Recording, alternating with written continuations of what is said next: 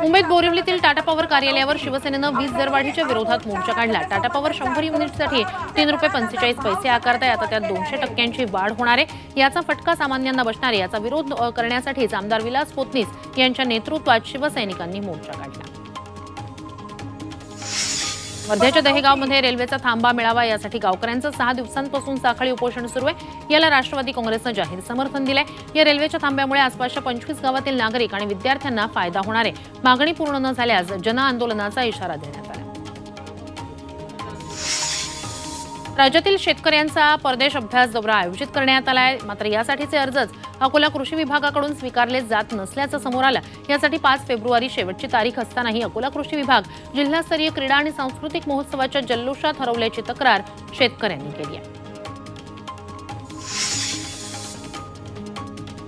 पुणे एपीएमसीच्या मांजरी उपबाजारात खोतीदार अमृत नोनी आर्थो प्लस ये एक प्रूवन फॉर्मूला है। इसमें मौजूद नोनी फल के गुण और आयुर्वेदिक जड़ी बूटियाँ, शरीर को ज़रूरी पोषक तत्व देने के साथ साथ हड्डियों और जोड़ों के घिसने उनमें होने वाले सूजन और दर्द को रोकने में मदद करता है। दर्द मुक्त जीवन के लिए अमृत नोनी ऑर्थो प्लस। व्यापाऱ्यांना प्रवेश देण्याचं व्यवस्थापनानं मान्य केलेलं आहे. त्यामुळे बाळासाहेब भिसे यांनी आपलं आमरण उपोषण मागे घेतले मांजरी उपबाजारात ठेकेदार व्यापाऱ्यांनी खोतीदारांना मज्जाव केल्यानं आठ दिवसापासून उपोषण सुरू होतं. खोतीदार व्यापाऱ्यांच्या सर्व मागण्या मान्य करण्यात आल्या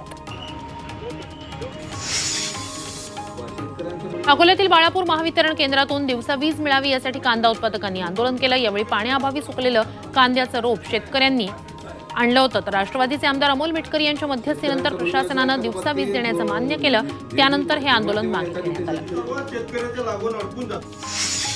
हिंगोलीच्या हिवरखेडामध्ये एकानं शेतकऱ्याच्या तुरीचा ढीगच पेटवून दिला. या शेतकऱ्यानं बारा एकरामधील तूर एकत्र रचून ठेवली होती. मात्र हे पीक पेटवून दिल्यामुळे या शेतकऱ्याचं मोठं आर्थिक नुकसान झालंय. गोंदियाच्या अर्जुनी मोर गावात विदेशी पक्ष्यांचं आगमन झालंय. त्यांना पाहण्यासाठी पक्षीप्रेमी आणि पर्यटकांची गर्दी होती आहे किमान चारशे ते पाचशे रेड क्रेस्टेड पोचाड पक्षी दिव- अनेक दिवसापासून या ठिकाणी मुक्कामी आलेले आहेत. परदेशातील थंडीचा जोर कमी झाल्यानंतर ते पुन्हा मायदेशी परततील. गडचिरोलीतील जिल्हा पोलीस दलाच्या महामॅरेथॉनला उपमुख्यमंत्री आणि जिल्ह्याचे पालकमंत्री देवेंद्र फडणवीस यांनी हिरवा झेंडा दाखवला.